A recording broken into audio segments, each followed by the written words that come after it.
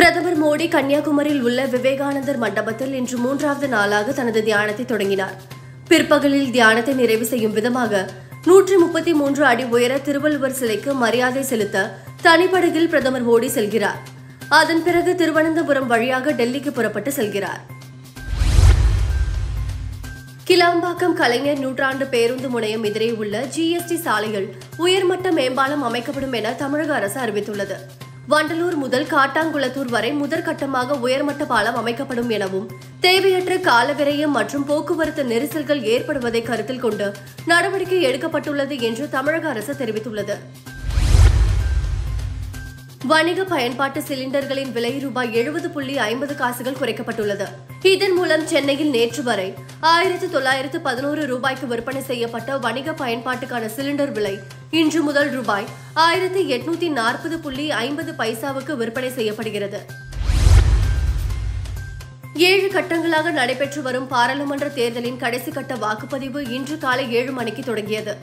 வாக்குப்பதிவு இன்று மாலை ஆறு மணி வரை நடைபெறுகிறது. வாக்குப்பதிவு தொடங்கியதிலிருந்து பொதுமக்கள் மற்றும் அரசியல் தலைவர்கள் என பலரும் தங்களது ஜனநாயக கடமையை நிறைவேற்றி வருகின்றனர். பாராளுமன்ற தேர்தலின் கடைசி கட்ட வாக்குப்பதிவு நடைபெற்று வரும் நிலையில் பிரதமர் மோடி எக்ஸல பக்கத்தில் இன்று இரண்டாயிரத்தி இருபத்தி நான்கு பாராளுமன்ற தேர்தலின் இறுதிக்கட்டம் இளைஞர்கள் மற்றும் இளம்பெண் வாக்காளர்கள் அதிக எண்ணிக்கையில் தங்கள் வாக்குகளை பதிவு செய்வார்கள் என்று நம்புகிறேன். ஒன்றாக இணைந்து நமது ஜனநாயகத்தை மேலும் துடிப்பானதாகவும் பங்கேற்பு மிக்கதாகவும் மாற்றுவோம் என்று பதிவிட்டுள்ளார். ஐரோப்பிய நாடுகள் பல பாலஸ்தீனத்துக்கு ஆதரவான நிலைப்பாட்டை எடுத்து வரும் நிலையில் இந்த போரில் ஆரம்பம் முதல் இஸ்ரேலுக்கு ஆதரவாக அனைத்து வகை உதவிகளையும் செய்து வரும் அமெரிக்கா சார்பில் போர் நிறுத்தத்துக்கு அதிபர் ஜோ பைடன் அழைப்பு விடுத்துள்ளார். அமெரிக்காவின் முன்னணி செயற்கை நுண்ணறிவு ஆராய்ச்சி நிறுவனமான ஓபன் ஏஐ என்ற நிறுவனம் வெளியிட்டுள்ள செய்தியில் இஸ்ரேலின் முன்னணி தகவல் தொழில்நுட்ப நிறுவனம் இந்தியாவில் நடைபெற்று வரும் பொது தேர்தலுக்கு இடையூறு ஏற்படுத்திட செயற்கை நுண்ணறிவு தொழில்நுட்பத்தை பயன்படுத்த முயற்சித்தது.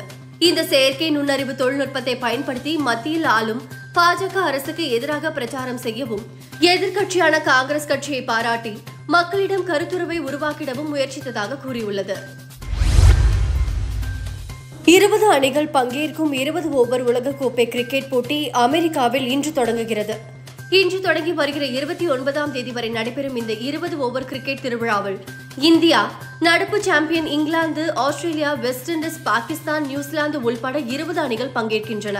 முதல் ஆட்டத்தில் அமெரிக்கா கனடா அணிகள் களம் காண்கின்றன.